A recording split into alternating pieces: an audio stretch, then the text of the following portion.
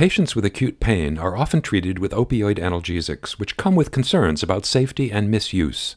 VX548, an oral highly selective inhibitor of the sodium channel NaV1.8, is being studied as a non opioid treatment for acute pain.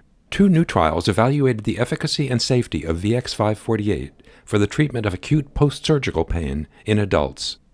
In these two Phase 2 randomized double blind placebo controlled trials, 303 participants with acute pain after abdominoplasty were randomly assigned to receive one of two doses of VX548, hydrocodone bitartrate acetaminophen, or placebo for 48 hours, and 274 participants with acute pain after bunionectomy were randomly assigned to receive one of three doses of VX548, hydrocodone bitartrate acetaminophen, or placebo for 48 hours.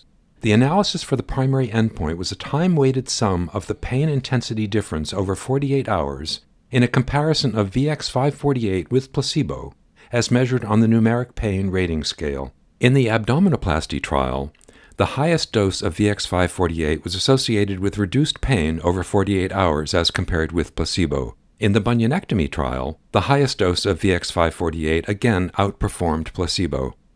In both trials, outcomes were similar with the lower doses of VX548 and placebo. Most adverse events were mild or moderate in severity. The authors conclude that in participants with acute pain after abdominoplasty or bunionectomy, the NaV1.8 inhibitor VX548 at the highest dose only reduced pain over a 48 hour period as compared with placebo. Full trial results are available at nejm.org.